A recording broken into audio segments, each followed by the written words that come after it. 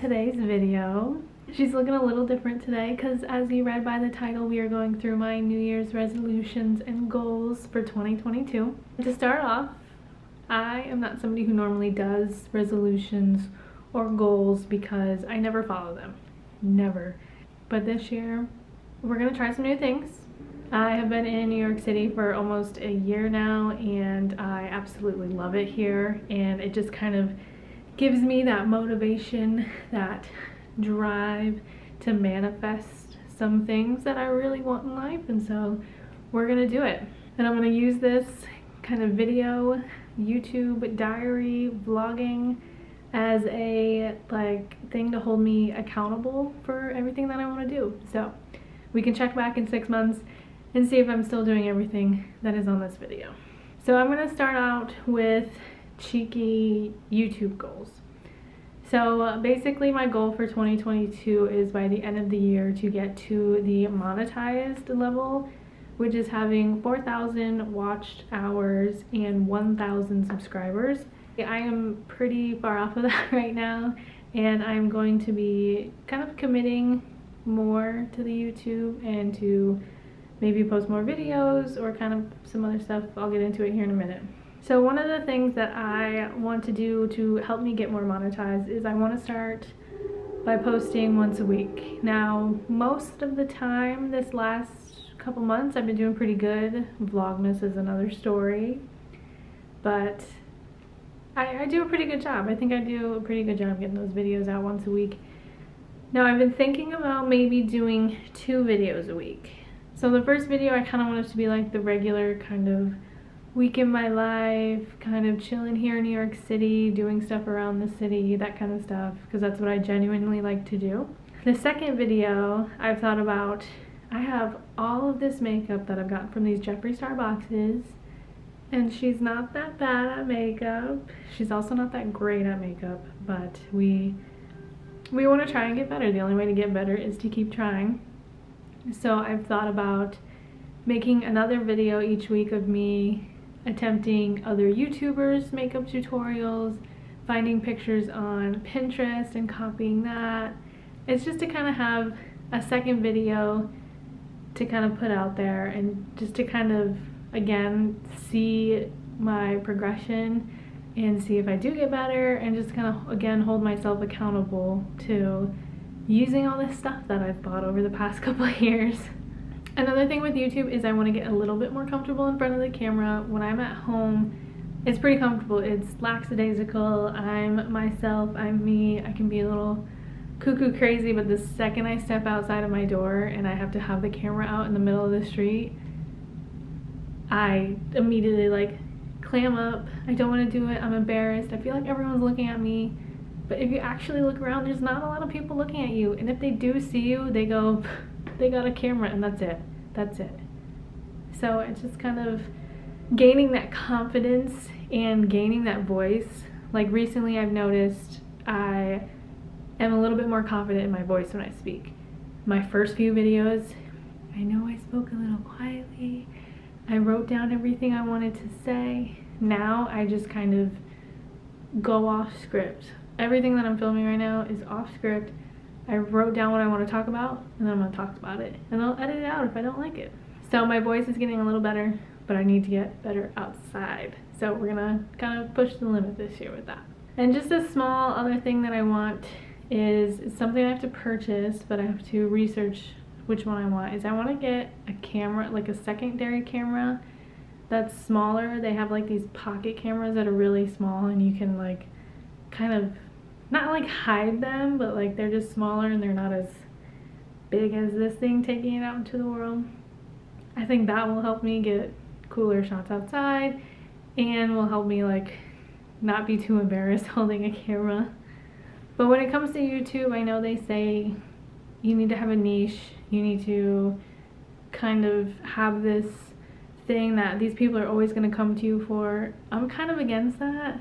I don't want to get stuck in something that gets me a million views, but it's something that I don't like to do. So I'm just to kind of do my own thing. Uh, like I said, I'm to post weekly. It's gonna mostly be on the same day, but there may be times where it's a day off or a day before or a couple like right after a couple days apart from each other. So that is it for the YouTube side. Um, I just kind of want to get that one out there because that's what you're watching me on. So hi. um, so the first one up on my like regular one is going to be balance. Right now, I don't feel balanced, and that is with like my job and my like my work-life balance kind of thing. I feel extremely stressed all the time regarding my job. So I'm most likely going to be looking for a new one this year. Um, I've been kind of already peeking around and applying to a few places. It's just a little hard for me to get a new job because I don't have a college degree. So it's hard for me to even get an interview. So it'll be interesting to see how this goes. But I definitely am looking for like a 9 to 5 kind of situation because there's more balance. Right now I have to work weekends sometimes I have to work at like 4 a.m. Sometimes I have to work at like 12 p.m. So it's just kind of, there's no balance. And for a while here in New York, I didn't even feel like I lived in New York City because I was only thinking about going to work, getting to work, working, getting home from work, and like just relaxing at home that we like didn't even do a lot for a couple months. So I really want to get away from that. And I want to create more of a balance in going outside and exploring the city and exploring everything that the city has to offer. So I'm hopefully going to bring in more balance this year, being optimistic. Next on my list is going to be reading more this year. I have an obsession with buying books, but not reading them. I have a whole thing of books over here, and I've only read one of them. One. And I just I see these things every day and I just I want to attack them but then I go to like Barnes and Noble and I see more books and I buy more books and I don't read them they just sit here. So I am going to do one book a month. I feel like that's more achievable for me and the first book that I'm starting with is by Mark Manson and it's The Subtle Art of Not Giving a F I don't know if you can see that I take off the the sheet because I don't like I don't like the sheets. I just like the hardcover. but I just want to kind of start out with a simple. Maybe it'll teach me to be a little bit more open and also be more confident in front of the camera. So hopefully it'll kind of help me knock off two things on this resolution this year. Now the next one is kind of something that everyone says every year, but it's like my own version of it. And that's I want to get healthier. That part of being balanced is definitely going to help me get healthier. And by healthier, I mean eating healthier and being more aware of what I'm putting into my body and being active. Now, I work in retail, so I walk around all day at work every day. That's the only reason I've stayed in any kind of good condition that my body is in right now. I don't really gain weight. I don't really lose weight, I kind of just stay in this like 10 pound teeter tottering kind of thing. But I want to get healthier. I want to get toned up. I've already started working out. I found a program that I like. But I will probably be talking about that in a later video when I kind of feel more comfortable talking about that. But yeah, I just want to just take care of myself. Like, this is the only body that I have. I need to take care of it, treat it right. Okay, the next thing on my resolution list is going to be gaining more hobbies whether it's multiple hobbies or one hobby i'm not for sure yet i haven't decided but basically i just want to like not sit around the couch whenever i'm bored at home i want to be able to do something with my hands that doesn't go straight to my phone and going to social social media accounts or video games like i want another hobby like something else to do um, I do have a lot of clothing that I have that I love, but it needs to be either hemmed or it needs to be like taken in a little bit. So I want to kind of get back into sewing. My mom taught me the basics of sewing when I was young. So I can easily hem pants and hem a dress and like take it stuff in. I just haven't taken the time to do it. I literally have stuff that I've never worn in my closet that I'm like, this would be perfect, only if it were shorter. So I'm just gonna do it myself. Haven't done that to any of my pieces in my closet, so we need to do that. So I think I'm gonna start with that one before I even think about adding any other hobbies into the list because it's just kind of that tackling one thing at a time thing. If I feel like if I take on too many hobbies, I will give up on all of them. Hi, I moved the camera because the sun's coming in and causes shadow on one side of my face. So we moved it over here.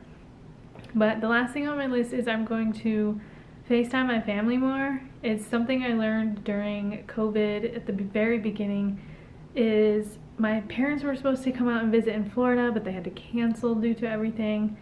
And I realized how much I miss them, how much I really need to be around my family, and how much I need to talk to them and be around them or just see them. So one thing I want to do is just FaceTime them, like maybe starting every, maybe every two weeks, maybe do it once a week, and just kind of chat and catch up because I feel like that will make me more like you kind of just get that like fullness feeling that you have these other people in the world who care about you. You know they want to know what you're doing even if it's just the littlest thing. When they care about that stuff it kind of like warms me.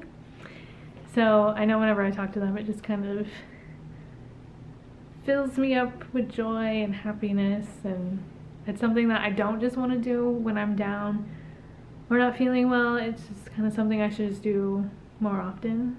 Thinking about all of this stuff, I really want to do like a six month checkup. So probably end of June, beginning of July, that time. I'm going to do a check-in to make sure I'm doing some of these things that I said I'm going to do just to hold myself accountable and see if these are the things that are bringing joy or happiness and and enlightening me to become maybe a better version of myself. We'll see. But until then, I will see you all on the next one. Bye.